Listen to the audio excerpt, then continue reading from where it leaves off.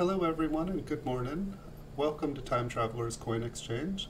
The next coin we're going to take a look at here is a 1991D Lincoln Memorial Cent.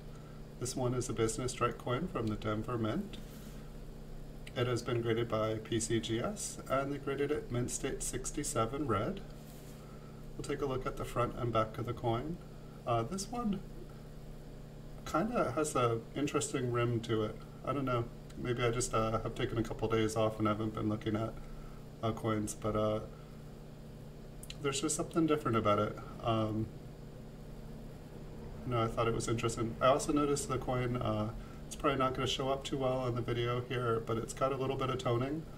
Uh, the top of the top of the coin uh, kind of has a, a, silvery pink color on Lincoln's head, uh, and the right and left fields kind of have a yellowish gold uh, tone to it. the, the reverse looks pretty much normal. I'm going to blind you guys here, but hopefully you can kind of see what I'm talking about. And it's actually showing up a little bit, which is cool. Uh, most videos that I do, uh, things don't, the toning doesn't show up. The, the reverse, for the most part, looks normal. Uh, but really nice 67 here.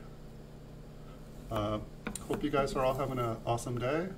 I'll have some more coin videos coming up soon, so stay tuned. If you guys enjoy the videos, feel free to subscribe.